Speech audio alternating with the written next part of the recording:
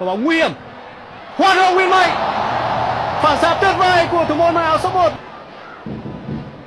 Chúng ta xem lại cú sút rất căng của Ali Adnan. Công. Nhưng các pha bóng luôn được thực hiện một cách hiệu quả. Thêm một lần nữa thì Nguyễn Mạnh là người hùng. Quá hay cho pha cản phá vừa rồi. Việt Nam thì có lẽ đó là lần đầu tiên các hậu vệ của đội tuyển Việt Nam mắc sai lầm. Đó là một sai lầm của Tiến Thành xuống mà Tiến hành sử dụng động tác khống chế bóng chứ không phải